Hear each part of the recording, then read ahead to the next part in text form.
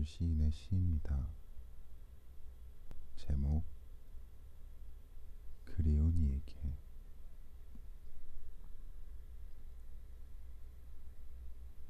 사랑한다고 말할 걸. 오랜 시간이 흘러가 버렸어도 그리움은 가슴 깊이 맺혀 금강석이 되었다고 말할 걸. 이토록 외롭고 덧없이 홀로 선 벼랑 위에서 흔들릴 줄 알았더라면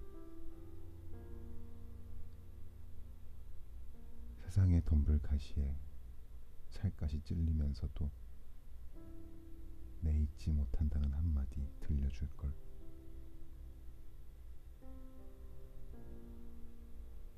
혹여 되돌아오는 등 뒤로 차고 스산한 바람이 떠밀려 가슴을 후비었을지라도